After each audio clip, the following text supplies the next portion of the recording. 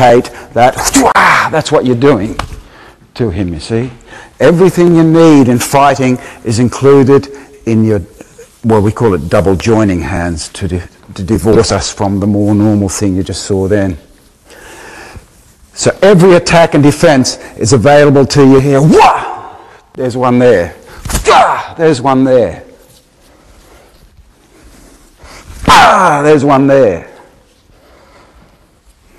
Ah! There's another one there. Fingers to the eyes and so on.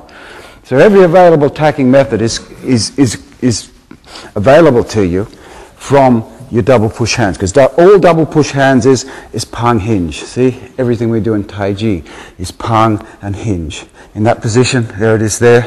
He's doing it already because he thinks I'm going to hit him. That's your pang hinge. In that position, you're, you're well defended. Just attack Eli, you're well defended. From that position, you can immediately launch into any sort of attack you want because it turns into pang hinge, see? And you're not going to exacerbate a situation in a pub, for instance, where there's some aggressor there, some drunk bloke, and you don't want to kill him. So you just, you don't stand like this. This is going to make him worse. You just stand like this, try to talk him out of it first. But you're protected in this position, you see? You're well protected, ready for anything that happens to you.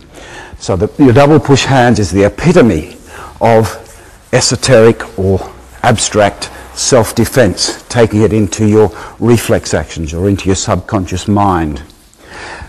Now, from your double push hands, this is the norm, of course, and we